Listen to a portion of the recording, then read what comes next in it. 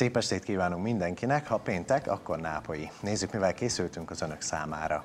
Vasárnap gyöngyösen koncertezik az Alma zenekar, beszélgetünk majd erről és, és a 24 órás vetélkedőről is. Ezen kívül a Mátra Erdészeti Szakgimnázium befejeződött energetikai korszerűsítéséről is szót ejtünk, és hát ma ünnepeljük a nőket, természetesen ez sem maradhat ki adásunkból, ahogyan az sem, hogy hamarosan szezonnyitó lesz a gyöngyösi állatkertben, és mielőtt belevágnánk a ma esti Nápolyba, volt a Facebookon egy nyereményjátékunk. Most vasárnap koncertezik nálunk az Alma zenekar, és aki velünk játszott, egyébként több mint 120 voltak, berekerültek egy kalapba. Ezt a ma este harmadik részében fogjuk sorsolni. Három ember, három családi belépőt fog nyerni egyébként a koncertre, úgyhogy mindenképpen tartsanak velünk akkor, hogyha játszottak.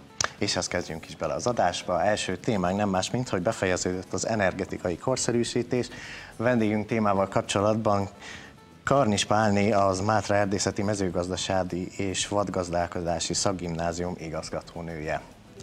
Jó estét! Még mielőtt rátérnénk a témára, azért szerintem mégiscsak nőnap van, úgyhogy engedje meg, hogy felköszöntsük tévénk nevében, és hát nagyon boldog nőnapot nagyon szeretnénk köszönöm. kívánni. Nagyon kedvesek, köszönöm szépen. Nagyon szívesen. Tehát ennél fontosabb témában érkezett most hozzánk. Mielőtt azonban erre rátérnénk, és a nőnapon túl, nemrég rendezték meg a 21. vadászbált az iskolában. Hogyan sikerült ez most, és a bevétellel kiket támogattak? Igen, 21. alkalommal, ugye még Simon igazgató alapította a bált. Mindig az a célunk, hogy köszönetet tudjunk mondani mindazokon, akik az előző évben támogattak bennünket, és a tavalyi évünk igazán mozgalmas volt, mert két országos versenyt is kellett rendeznünk, amiben nagyon nagy szükség volt az erdészetek, teljes Észak-Magyarország erdészetének a segítségére. Huszkvarna Stél támogatott bennünket. Igyekeztünk ezekkel az emberekkel egy asztalhoz leülni és köszönetet mondani, de nyilván alapvető cél az volt, hogy ez egy jótékonysági bál, és van az iskolának egy ifjúság az erdőért alapítványa, amin keresztül azokat a gyerekeket támogatjuk, akiknek nehéz körülményei vannak otthon, és az étkezésüknek a kifizetését igyekszünk megoldani. Mekkora lett a bevétel, ezt el lehet mondani? Hát a bevételünk az meghaladta az 1 millió forintot, de nyilván ennek voltak kiadási oldalai is, illetve hát el kell mondani azt is, hogy a gyerekek azért dolgoznak is, hajtásokon vesznek részt, feladatokat vállalnak önkormányzatoknál is, fakitermeléssel, és annak a, az azért jutatott bevétel is igazából az alapítványhoz került az idén. És hát akkor térjünk rá magára a beruházásra. Milyen összegből valósult meg ez az egész? A támogatási összeget mi 2016-ban nyertük el, és hát nagyon örülünk, hogy a végére értünk, mert nagyon hosszú folyamat volt a közbeszerzések és egyéb gondok révén.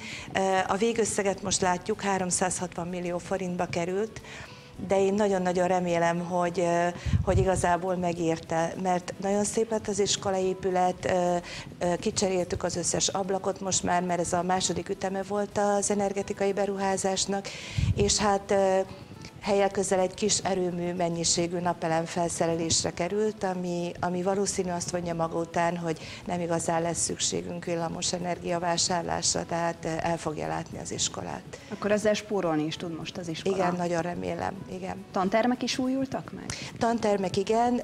Volt egy szárnyunk, az úszárny, amit annak idején gyakorlati műhelyekből alakítottak ki, amikor a vadas és az almási összevonásra került. Sajnos azokon a termeken nem voltak szabad levegőre nyíló ablakok, úgyhogy az iskola költségvetésének a terhére sikerült megoldanunk, hogy oda egy 7,5 millió forint értékbe ablakok kerültek be, álmenyezet került be, tehát megújultak ott azok a tantermek. Akkor ez egy fontos mérföldkő volt most az iskola életében. Hát én úgy gondolom, igen.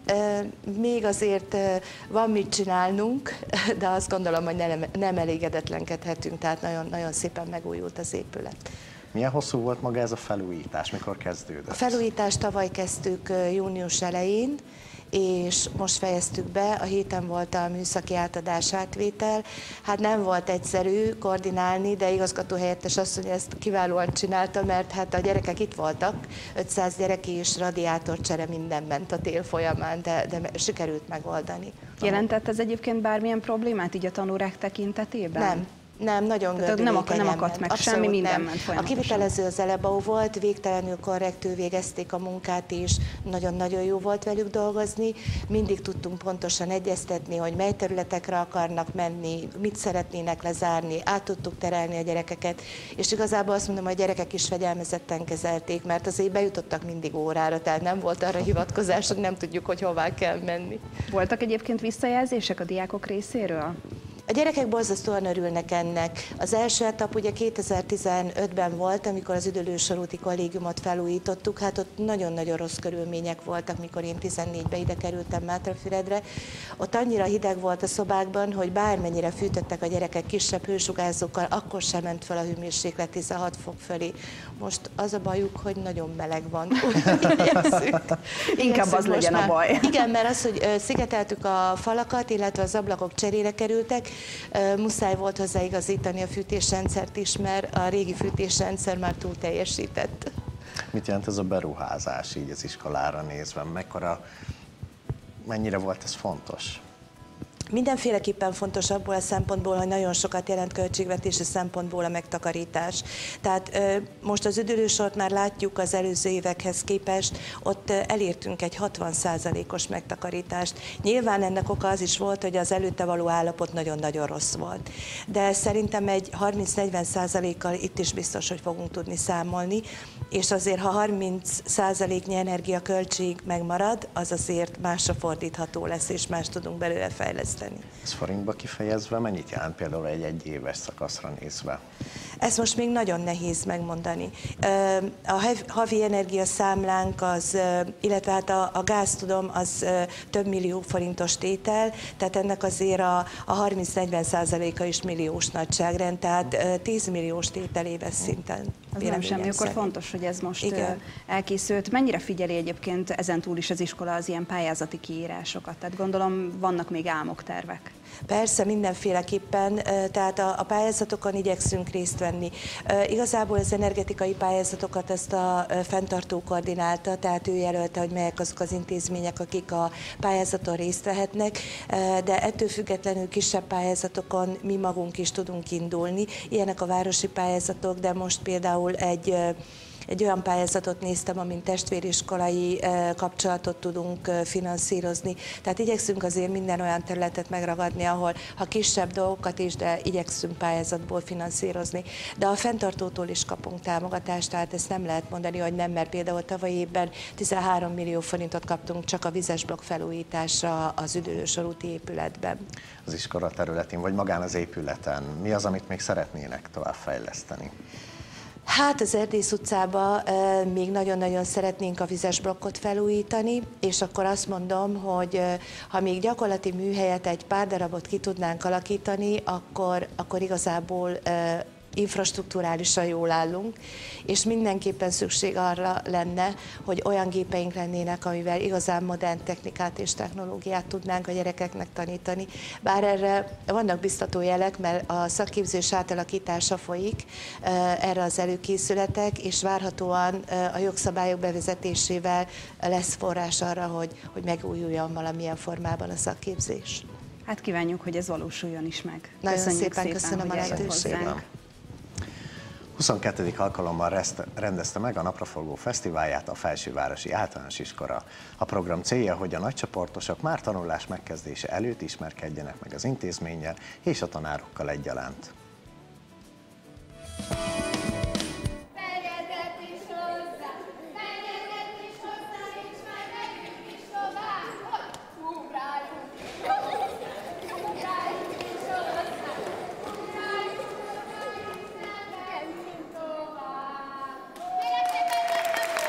Közös dallal és mozgással pesdítették fel a gyerekeket a Napraforgó Fesztiválon a Felsővárosi Általános Iskolában.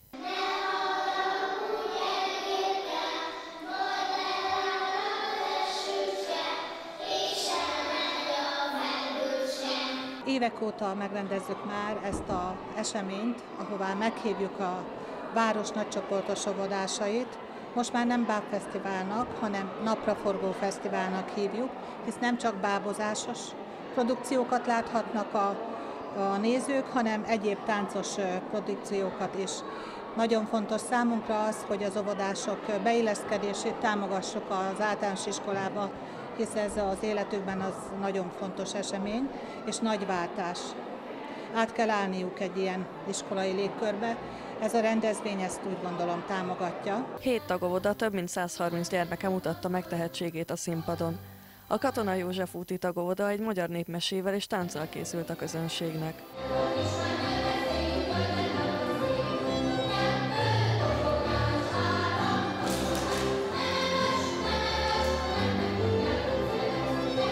Eleinte Báb Fesztiválként indult útjára a rendezvény, de úgy látták a szervezők, hogy inkább táncos fellépésekre van igény.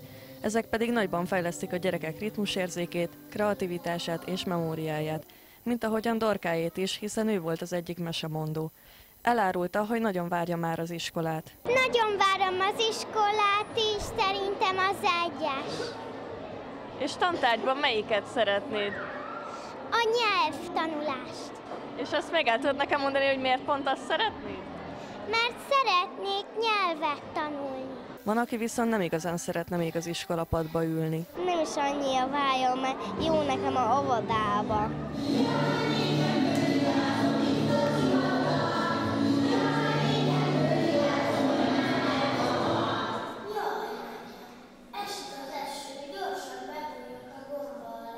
A Platán úti óvodások a Gomba című mesét adták elő, ahol a gyerekek állatjelmezbe bújtak. Én voltam a béka.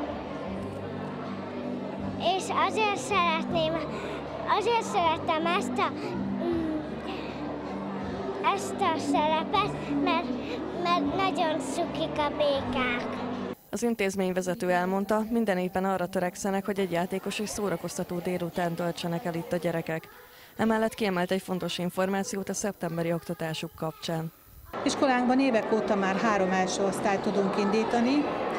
Ettől a szeptembertől kezdve egy új momentum jelenik meg, mert első évfolyamon bevezetjük az emelt szintű informatika és idegen nyelvoktatást. A fellépések után sem mutatkoztak a gyerekek, a kézügyesség fejlesztésére kialakítottak nyolc standot, ahol a kicsik különböző tavaszi témájú alkotásokat készíthettek és vihettek haza. Emellett az óvodások emléklapot kaptak színvonalas szereplésükért. Hétvégén rendezik meg az Aludj Máskor 24 órás vetélkedőt a Berze Nagy János Gimnáziumban, és témámmal kapcsolatban vendégeink Pelle Adél Dorka, illetve Varga Márton és Molnár Balázs, a Berze Sziasztok. Nagy János Gimnázium tanulói. Sziasztok! Még mielőtt megint rátérnénk a témára, ugye nyilván nőnap van, és hát Dorka, hát nem mehetünk el amellett, hogy fel ne köszöntsük téged, úgyhogy nagyon boldog nőnapot kívánunk. Fiúk, titeket várunk vissza az ivónapkor. Na és hát hétvégén rendezitek meg ezt a nagyszabású eseményt, meséljetek róla. Mit lehet erről tudni magában? Öm, hát hat csapattal indul majd ez a verseny. Öm, sok városból jönnek, Mátrafüredről például jönnek, hát iskolák leginkább. Ö, a kereskedelmiből jönnek a Bottyán iskolájából, és a Berzéből, más városból, Mezőkövesdről jönnek még. És hát 24 órán keresztül teljes pörgésbe vagyunk ilyenkor, és mindenféle feladat, amit csak el lehet képzelni, mivel 24 órát, tehát azt tartalmasan el kell tölteni. Táncolni fogunk, meg énekelni, akkor sportolni, mindent, amit el lehet képzelni ilyenkor, ezt meg fogjuk tenni.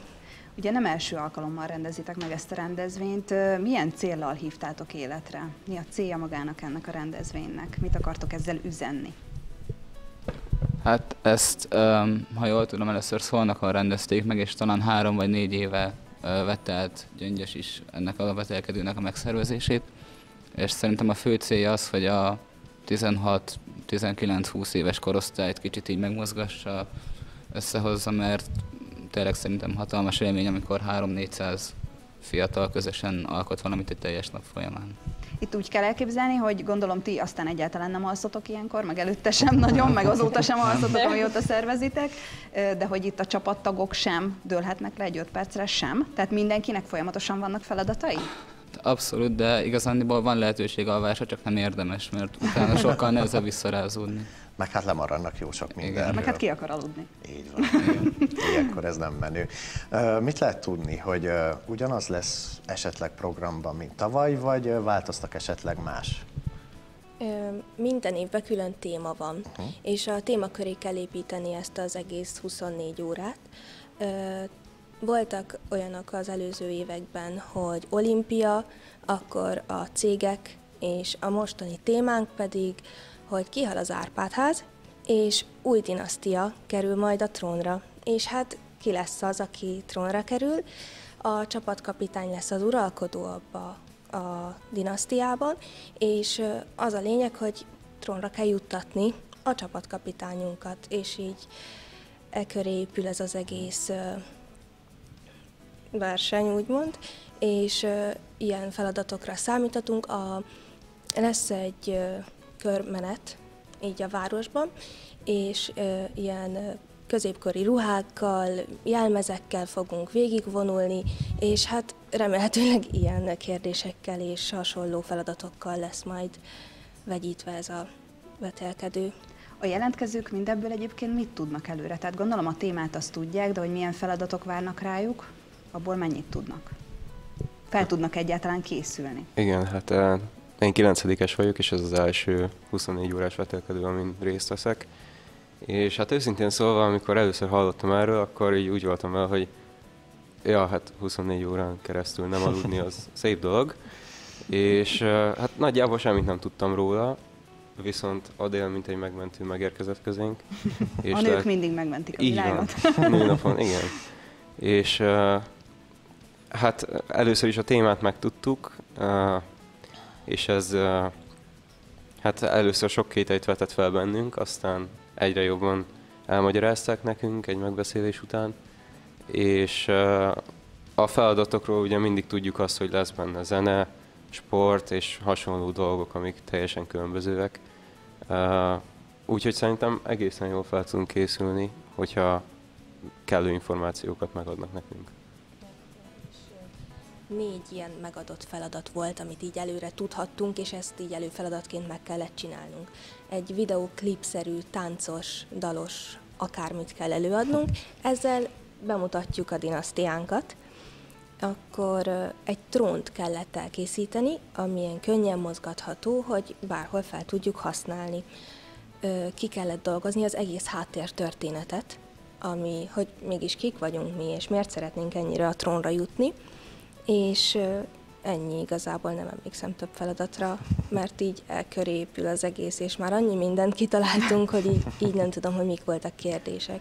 Igazából nekem most erről a trónok harca jutott eszembe. Körülbelül így kell elképzelni ezt majd most? Um, igen, hát azért nem bérre megy itt, de, de igen, ez azért elég kemény lesz. Mi alapján állítottátok össze a feladatokat? Itt az volt a cél, hogy, hogy pörgős legyen, szórakoztató legyen, hogy tényleg eszükbe se jusson a diákoknak elaludni, vagy hogy, vagy hogy itt tényleg felmérjék a, a, az erőket. Mi alapján állítottátok össze? Hát mindenki valamiben jó és így próbáltuk meg így a feladatköröket így kiosztani, hogy ki mibe jó. Rengeteg zenészünk van, táncosaink, akkor akik igazából a tudományokba jeleskednek, és, és így, így próbáltuk felosztani, hogy ki az, aki jól is érezni magát ebbe a szerepbe, amit kiosztunk neki, és meg jól is meg tudja csinálni. És ugye hát ezt valaki zsűrizni is fogja. Kik lesznek a zsűri? Mit lehet erről tudni? Hát így konkrétan nem tudjuk. Azt Annyit, hogy a 24 órás vetelkedőnek ennek van egy ilyen nagy alapcsapata, és ők fognak kijönni, és szerintem felkérnek egy pár ilyen vagy tanárt, vagy valaki, aki így, így belelát így a diák életbe, és tudja, hogy egyébként miket készültek így előre, vagy hasonlók. Ilyenkor mit fognak szerintetek zsűrizni? Inkább az erőlétet nézik, hogy ki mennyire bírja a 24 órát, vagy, vagy a esetleg a kreativitást, így van. Hát igazából azért van nehéz dolgunk, mert mind hármat. De külön pontozzák, hogy az adott csapatterületen milyen rend van, a fair play-t is nagyon erősen nézik. Um, tehát akkor itt fontos, hogy összeszokott csapatok igen, legyenek, igen, hogy jól abszolút. tudjanak együttműködni. Tehát, hogyha, hogyha a csapat már eleve nem összeszokott, akkor 24 óra alatt ott szétesik minden, és, és meg is őrülne az egész sportcsarnok. Remélhetőleg így is megfog, de jó értelemben. Ö, igazán volt tényleg ezért van nehéz dolgunk, mert minden kategóriát néznek, és minden szempontot, és ez alapján pontoznak. Tehát akkor itt az fog győzni, akinek a legtöbb pontja lesz. Igen. Mit nyer az, aki győz? Semmi.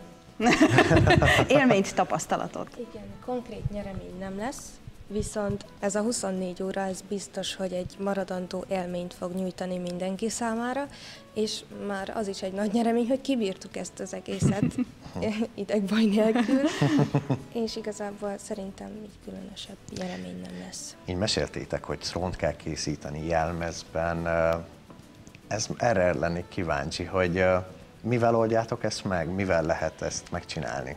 Hát hosszas turkálók átkutatásával, hogy hasonló kori ruhákat tudjunk szerezni. Sikerült egyébként? Ö, Gondolom ez azért nem volt olyan könnyű. Nem, rengeteg ruhát mi magunk vartunk.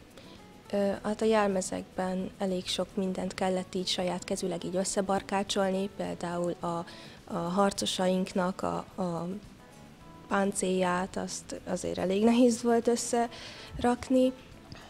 Másban így annyira, nem tudom, így mindenben ilyen kézi erővel tudtunk mindent megcsinálni, mert azért elég nehéz így összerakni. Elégedettek vagytok egyébként a jelentkezők számával, hogy látjátok mennyire népszerű ez a rendezvény?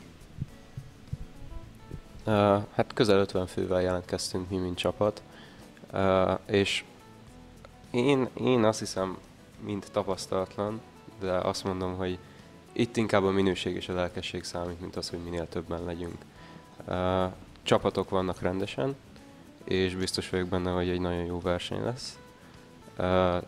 De én nagyon meg vagyok elégedve a csapattal, és azt hiszem, hogy jó emberekkel vagyunk körülvéve. Uh-huh. Ugye Márton jelezte, hogy neki ez lesz az első, nektek viszont nem. Tavi milyen volt így visszaemlékezve? Én a tavalyiban nem versenyzőként, hanem csak segítőként vettem részt, így hát egy kisebb, nagyobb ilyen beletekintésem így már volt, hogy mégis mire vállalkozom, de Balázs már többször volt.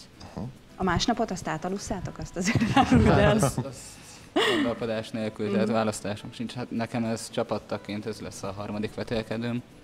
Üm, igazán most azért volt nehezebb dolgunk, mert az előző két évben egy, egy idősebb korosztályjal egy összeszokottabb csapattal jöttünk, és ez egy újabb csapat, de üm, igazándiból minden évben hál' Istennek olyan a, olyan a téma, amiből nagyon sok mindent lehet kihozni, és nagyon jól el lehet kapni a témát, és most úgy érzem így ö, előre, hogy, hogy nekünk most idén is sikerült, és bízok a legjobbakban.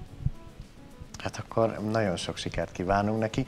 Nektek bírjátok ki a 24 órát, töltsétek meg sok-sok programmal és sok-sok élménnyel, és hát nagyon jó szórakozást kívánunk nektek. Köszönjük szépen, Szépen. hogy eljöttetek. Ennyi fért bele a ma esti nápolyi első részébe, de maradjanak velünk, hamarosan szezonnyitó lesz a Gyöngyösi állatkertben, beszélgetünk majd erről és a Nemzetközi Nőnapról is, úgyhogy ne kapcsoljanak sehova.